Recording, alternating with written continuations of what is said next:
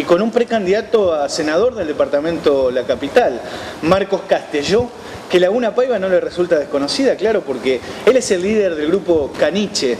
Con el grupo viniste muchas veces, Marcos, ¿no? ¿Cómo, estás? Bueno, gracias, gracias por esta invitación y bueno, la verdad que, bueno, en principio feliz, feliz por la invitación y por la oportunidad de, que me das de, contar un poquito de qué se trata todo esto, por qué, que, que es lo más importante, el por qué. Así que, bueno, feliz, feliz de visitar Laguna Paiva, lugar que conozco muchísimo de, tan, de toda la vida, de toda la vida. Así que eh, por familiares y por, bueno, por mi trabajo que me ha dado la, bendición de poder venir en reiteradas oportunidades. Claro, y ahora como político, ¿no? unas visitas que vas a tener que hacer distintas. Vamos a decir que, vos sabés que... Eh, trataría de decir que, o sea, todos saben que no soy un político, pero en definitiva vengo desde otro lugar, vengo desde el ciudadano común, desde el ciudadano que, de repente tiene ganas de hacer cosas por, por, su gente, por su pueblo. Yo creo que hay tantas necesidades básicas insatisfechas en, en, en el gran en el Gran Santa Fe, por decirlo de alguna manera, como es el departamento de la capital, que es a lo que apunto, a lo que apuntamos, a lograr una sola cosa, a, tratar de que de repente lo que pasa eh, eh, en Nelson no le interesa el que pasa en Laguna, lo que pasa en Laguna Paiva y viceversa, o en Santa Fe, en Montevera debiéramos pensar como equipo, como, como, como un todo, y es por eso que, bueno, que este desafío va a ser algo grande, pero sin lugar a duda que lo vamos a intentar. Pero más allá de todo esto, lo que me conmueve a mí es el grupo de gente que, me ha convencido para, tomar esta decisión. De la mano de Carlos Felice, que es una persona que admiro mucho, pero por sobre todas las cosas un tipo que no tenía la necesidad en lo más absoluto, en lo más absoluto se lo puedo asegurar, de, de complicarse o de repente decir, eh, bueno, voy a ingresar en este mundo de la política para torcer algunas cosas, para cambiar, para que la gente tenga mejor calidad de vida. Y sin embargo el tipo lo hace porque solamente tiene vocación de servicio.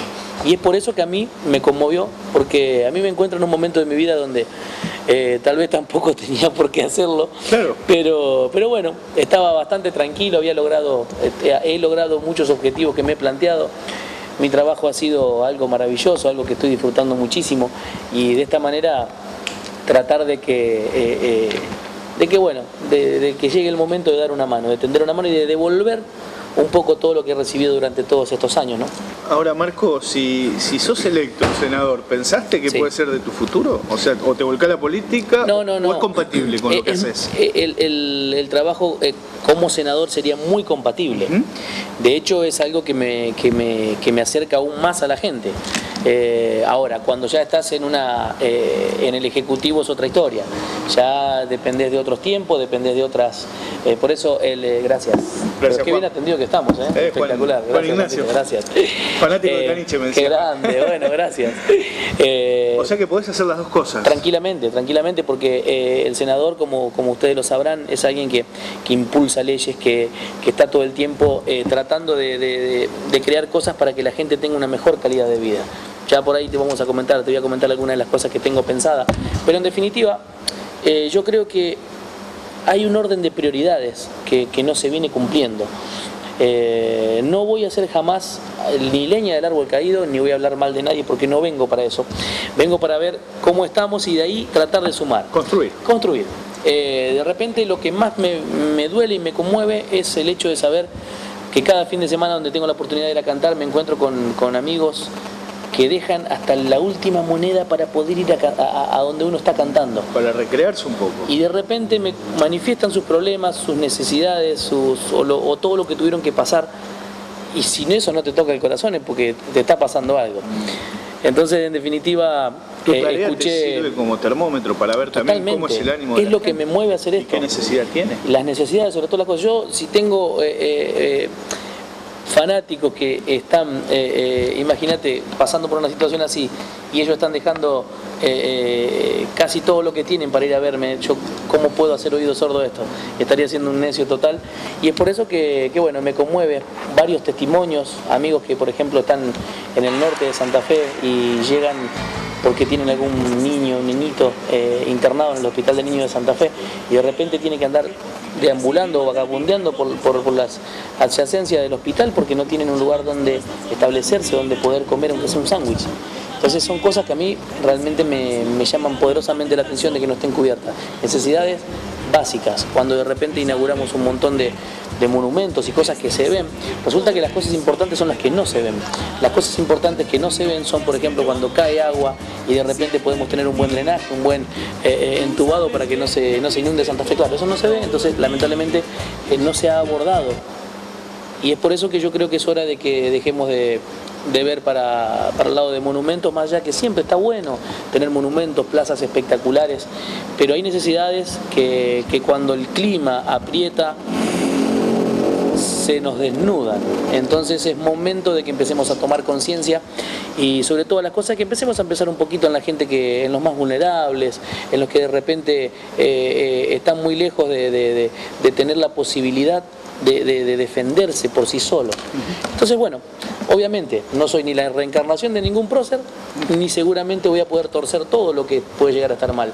Simplemente vengo a colaborar con mi granito de arena, con mi buena intención y con un gran equipo de trabajo que seguramente, bueno, no que seguramente, que ya, ya sé que está trabajando arduamente por si, por si estas cosas, eh, eh, eh, por si esta, esta loca idea por un momento y hoy por hoy ya una realidad se concreta. ¿Y qué espacio político es el que representás?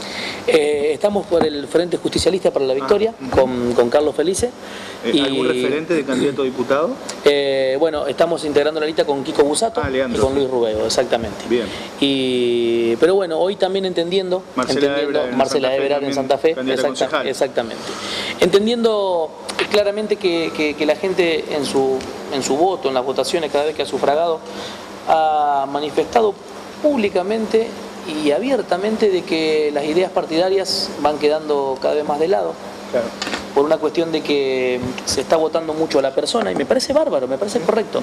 Siempre lo digo, más allá de que uno defiende la idea justicialista y de que es eh, por, militancia de mis viejos y por toda la familia siempre fue justicialista, también entiendo de que, claro, eh, la gente pide un cambio, siempre pide mejorar y, con justa razón, porque se puede, porque yo creo que si tenemos gente idónea, gente que piense en el otro, aunque sea por un momento las cosas pueden cambiar. Ahora, eh, el simple hecho de llegar a ser un funcionario eh, implica algo muy grande, un compromiso que no sé si, si todos lo han tenido, y es por eso el descreimiento que hay desde la gente a la política y, viceversa. ¿Qué pasa? Eh, cuando me, lo planteaban dije, me dijeron, pero ojo que en la política es todo sucio, que es todo... Entiendo al que piensa así, entiendo al que descree, pero si de repente ciudadanos como vos, como yo, como el que está mirando, como vos que estás mirando, no metemos mano, estamos dejando que cada vez las cosas vayan para el lado que no nos conviene. Entonces, de una vez por todas, nos arremangamos y metamos mano. Después eh, Dios sabrá y, bueno, y, aparte de toda la buena voluntad que tengamos, obviamente hay que tener un gran equipo de trabajo. Pero bueno, uno debe dormir tranquilo con que hizo todo lo posible para mejorar esto. ¿40 años tenés, Marcos? 39. Ah, bien, ahí a punto de... A puntito. en diciembre cumplís años, En diciembre, ¿Eh? en diciembre. Marcos Antonio Castelló. Así es. ¿Y eso de, Cheche Caniche, de, dónde surge? lo de Caniche surge como un nombre que, de repente eh, salió como, nos pareció que era eh, fácil de recordar de que de repente lo podés, eh, lo ibas a tener rápidamente en la boca o en tu mente. Y bueno, Che Che Caniche fue una coincidencia, una, una, rima, y bueno, salió como una animación y bueno, luego quedó como una marca. se quedó vivir. Infaltable en cada show. Exactamente. Eh, y decías recién me agarra esto de la candidatura en un momento donde no la necesito, ni económicamente. no, no, no, porque no lo veo. no lo, bienestar, no lo veo, no lo veo como un trabajo que me vaya a redituar, porque no, no tengo la necesidad, ni quiero, ni hay, ni, te puedo asegurar que no hay dinero en este mundo que me pueda convencer, porque no soy de los que piensan de que la vida va mucho más allá del dinero y de las cosas materiales. ¿Sos muy creyente, Marcos? Sí, ¿Mm? sí, sí creo mucho, en Dios. En tus recitales nombrar mucho a Dios, ¿no? Eh, está bueno eso. ¿Sabes qué? Que está, está, buenísimo porque yo creo que la gente necesita eh, creer, necesitamos eh, aferrarnos a algo, y yo creo que ese, que ese Dios del que tanto hablamos es, es la solución, pero más allá de todo, también nos hace falta creer un poco en nosotros. Con el correr de los años me di cuenta, cuando había logrado un montón de objetivos que, objetivos, ¿eh? yo siempre trato de no confundir y, e invitar a mis amigos, a mis seguidores, a quien, sea, a quien sea, que no confundan objetivos con metas. Objetivos viene de la palabra objetos, cosas que podemos tener, que un buen día cuando nos vamos de acá así como las agarraste las tenés que soltar. Entonces, el materialismo actual del que habla tanto. Exactamente. Y también eh, las metas son otras. Las metas, o sea, rápidamente, cuando uno eh, deja este mundo, seguramente en nuestra lápida van a poner algo sobre nosotros. No van a decir se compró la casa, se compró una moto, tuvo plata. No van a poner eso, porque son objetivos. Entonces, las metas nuestras tienen que ser que nuestro paso por esta tierra sea recordado como una buena persona, como que de repente eh, eh, pudiste ayudar a alguien, como que de repente fuiste amado, fuiste querido, fuiste recordado. Esas son verdaderas metas. Y es por eso que eso es lo que me mueve a, tratar de marcar esa diferencia, a trazar una raya, porque son cosas totalmente diferentes. Entonces, con el correr de los años también aprendí que todo lo que tiene que ver con los materiales es algo tan trivial, algo tan efímero, algo que se va así como viene. Obviamente uno debe ser positivo para que esas cosas te acompañen, es una herramienta pero no te tienen que quitar el sueño ni te tiene que torcer el norte. Por eso a mí eh, podrán ofrecerme el dinero que me ofrezcan, a mí el dinero es algo que no me tiene eh, eh, en lo más absoluto. Tengo lo que necesito, tengo mi familia con salud y eso es todo lo que necesito. Quizás, quizás sea redundar lo que te voy a pedir, pero como para sintetizar la nota, ¿qué le dirías a la gente, no solo de Laguna Paiva, sino toda la zona donde llega el canal? Zambi Campbell, Nelson, Recreo, Todo lo que tiene que ver con nuestro departamento de la capital. Exacto. En principio, eh, yo no voy a pedir que me voten porque no soy un político. Yo vengo a ofrecerme como una herramienta. Yo soy eh, esa persona común y corriente que, está cansada por ahí de, ver cómo pasan las cosas de largo o, cómo, o de ver que, que tanto Santa Fe Capital, como todo el departamento de la capital, se va tornando en, un, en, una, en ciudades de paso.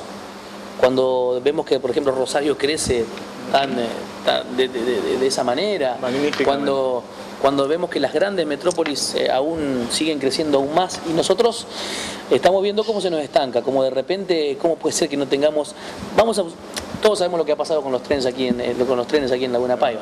Ahora, si de repente podemos impulsar, digo algo, algo pequeño, algo rápido, un tren que nos comunique desde Paiva hasta Santa Fe, ¿sí? que de repente eh, eh, donde la gente pueda viajar, aparte de hacer turismo, que también pueda llegar a su trabajo, que de repente se activen cosas que, que no sé a quién no le conviene que estén. Entonces, creo que hay que meter mano, creo que hay que generar fuente de trabajo, creo que cuando se habla de seguridad eh, no hay que, no se trata de meter 250 mil policías porque no se trata tampoco de eso. La seguridad tiene un montón de aristas, tiene un montón de, de formas de verse y de tratarse. La seguridad comienza cuando el bebé nace una persona que se cría, que se cuida con amor, después no delinque. Es así de sencillo. Entonces, si contenemos a la persona, si contenemos al bebé, al niño, al que se va a transformar en un adolescente para ser un joven, eh, después no podemos, si lo dejamos a la deriva, ¿qué hacemos? Después le ponemos un policía para que lo lleve preso. No se trata de eso, se trata de criarlo con amor, de tener una sociedad donde vayamos, eh, vayamos incluyendo a la gente y no eh, marcando a tal porque es drogadicto, a tal porque es delincuente. Si no incluimos, creo que estamos en el orden. Suerte, ¿eh? le decíamos a todos los candidatos lo mismo, pero eh, queremos decirlo de corazón, porque si le va bien al funcionario, a la comunidad toda también nos va a ir bien. ¿eh? Totalmente, ojalá que esto sea así, bueno, acá estamos, como una herramienta más, ojalá que, bueno, simple, que pase lo que tenga que pasar, pero al menos voy a dormir tranquilo de que ofrecí mi punto de vista y mis ganas de servir, nada más.